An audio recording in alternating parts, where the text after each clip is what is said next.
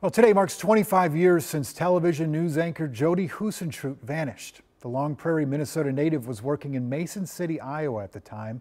As Jennifer Austin tells us, the case into her disappearance remains active.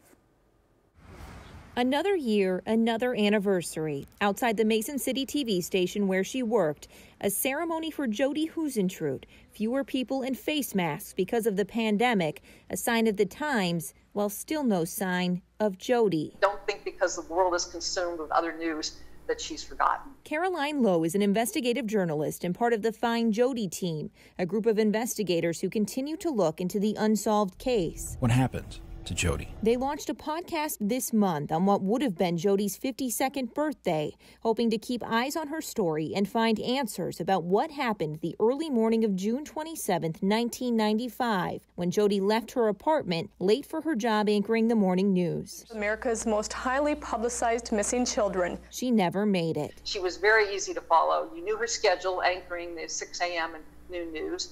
Her home number, her address were even listed in the local directory she would have been very easy to find. The 27 year old dreamed of working in the Twin Cities, seen here interning on election night at KARE 11, where she spoke with the then news director about her career. Her audition reel is what you use to tell Jodi's story. On this 25th anniversary, both the Minnesota BCA and Mason City Police Department have put out a call for new information. But I believe there's information still there there's information. I think the most critical area is northern Iowa, Mason City area, or southern Minnesota. We again we found that with Jacob.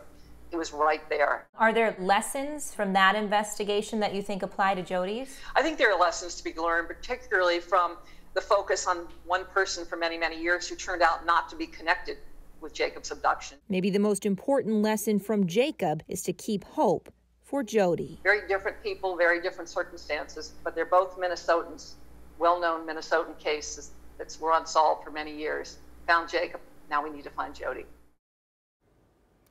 If you have any information on the case, you should call Mason City Police. We have that number at kare11.com. Meanwhile, you're asked to leave a porch light on tonight to help remember and honor Jodi.